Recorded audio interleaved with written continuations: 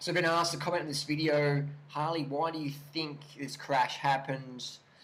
It's hard. I, I don't have all the angles, but the guy who is recording the camera with the GoPro camera, when his bike hits him in the face, unfortunately, you can see his aero bars. He's, is he riding aero bars in a road race? Now that is not allowed.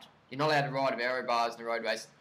I'm not sure if it was just a guy, a few mates having a little bit of a you know unofficial race, but UCI races, you are not allowed to use aero bars in a race except for a team time trial. But this doesn't look like a team trial trial, it looks like a scratch race. Probably just mates having fun on the road.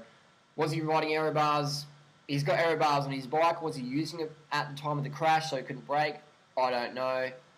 Can't say that. Don't have all the footage.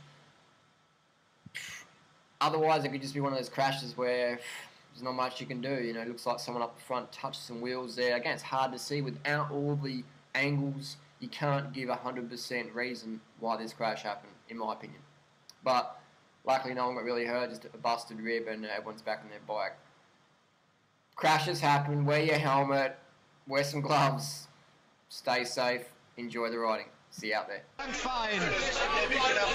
4000 Meter. oi, oi, oi, oi, oi, oi. Vorteil, Advantage vor Alexander Vinokov in diesem Finale. Oh, oh das sieht böse aus. Ah. Acevedo ist bei José Acevedo, der Teamkollege. Ja, Gergscheld auch hat. Ja klar. Das Plattensieg hin und her, das interessiert doch überhaupt keinen. Georg Totschnig, der Österreicher, ist gut durchgekommen. Lenz Armstrong mit dem blauen Auge davon gekommen. Also das ist fatal. Also er ist raus. Beloki ist raus. Hoffentlich ihm nicht zu viel passiert.